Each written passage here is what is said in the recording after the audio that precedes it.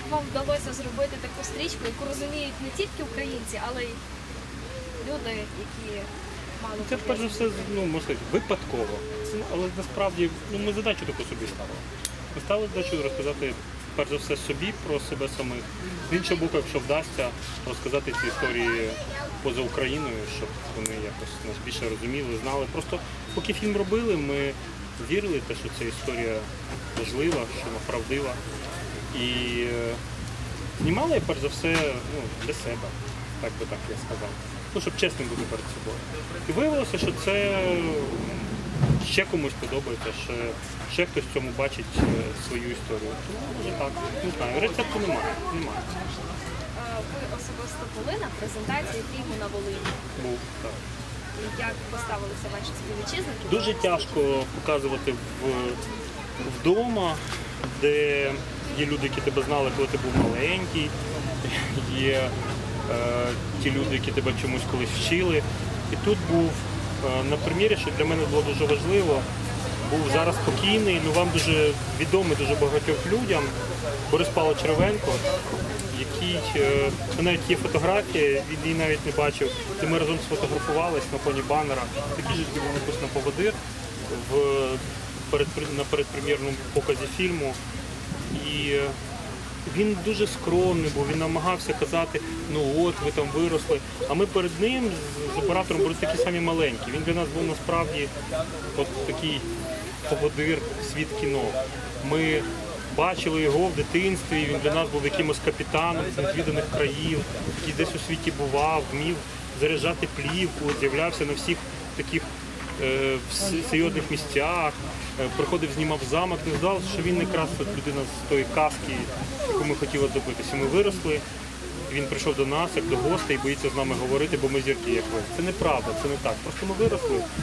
І, а він для нас назавжди був і залишається ну, метром, від якого ми вчилися перших. Перша вчителька, знаєте, в школі. Оце для нас перша вчителька і сама кіностудія Волині, і всі ті люди, які були тоді, їхня степень відповідальності, розмови про кіно. Це було дуже важливо. Чим для вас особисто є фільм про Водиру? Є режисери, для яких, наприклад, Камерон Титанік. І там що там про аватара не кажуть, але Титанік Я не знаю, це, це завжди це така професія, в якій ти що сам собі придумав, нічого не, не важить. Важливо, що про тебе думають. І ти потім можеш криком кричати Я не Титанік чи я Титанік. Це нікого не цікавить, всіх цікавить історія далі. Але кожна наступна картина, особливо, яка мала якийсь успіх, вона обтяжує тебе наступними кроками. Всі чекають від тебе знову щось такого іншого, унікального, ти мусиш їх знову дивувати. Іноді це допомагає працювати, іноді ні. Буває по-різному. Буває по-різному. іншого унікального. Що ви плануєте надалі? Може, Це вже кілька я вже оскільки почав це робити, то вже секрет. І е, ну єдине, що можу сказати, що фільм е, буде з українськими героями. Я думаю, що картина буде в спільній копродукції України з європейськими країнами. Ду- Знаю, що там ще зніметься може один або декілька американських акторів. І ну я вже почав над цим працювати, і е, це вже моя така внутрішня лабораторія. Я зараз перетворююсь на такого сценариста з бородою. Та ну я знаєте, на Пітера. Джексона ви дещо не знаю, ні, ні, не схоже зовсім. Зовні. Я з ним не познайомився. Він, до речі, дуже специфічна історія. Він я завжди думав, що він такий, ну дуже такий серйозний дядько. Він абсолютно дитина, е, так само от, живе своїми мріями, історіями. Е, Надзвичайно цікавий, надзвичайно мрійлива людина, але яка здійснює свої мрії вартістю там по півмільярда доларів.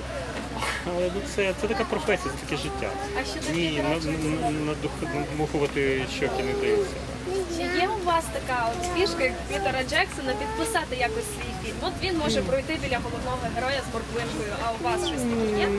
Щось таке є, ну я думаю, на якійсь там п'ятій, шостій, шостому фільмі воно якось е, визначиться. Зараз щось спеціальне, що я роблю для того, щоб там знятися там в кадрі в цьому фільму, чи показати пальчик в якомусь моменті. Ну не- нема такого. Чи вставати вище з лівої ноги, чи ходити в шортах, бо я гоблін. Ну не- не- такого немає.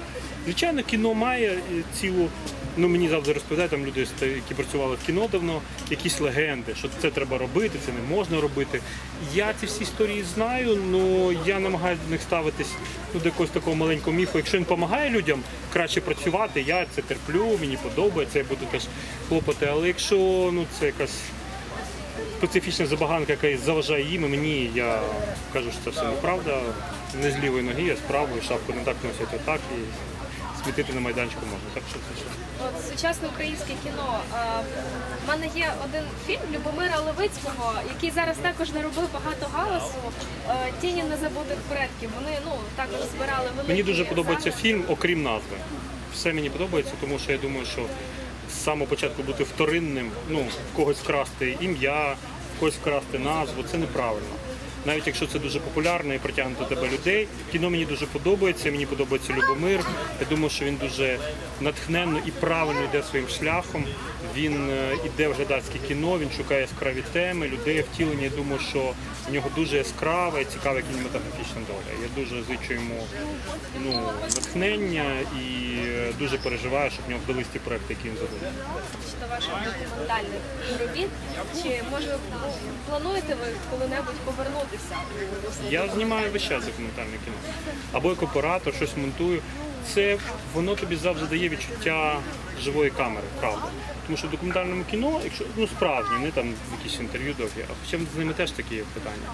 Е, завжди е, в ньому дуже легко спізнитися. Коли відбувається якась подія, ти про неї думаєш і передбачаєш, тоді можеш стати в тому місці, в той час, в той момент, коли вона відбудеться, і це буде правильно знято.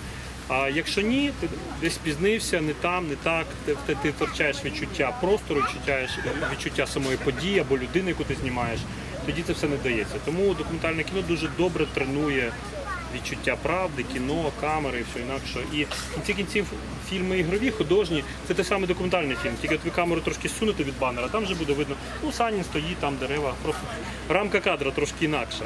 А зразу буде фільм, по текст знімається художній фільм. Ну так що все те саме. Камера та сама. Може, ви хочете щось сказати майбутнім режисерам і вашим майбутнім Нікого не глядачам? слухайте, знімайте кіно. Кажуть, ш- е, пишіть собі під подушку сценарій, нікому не показуйте, просто беріть і знімайте.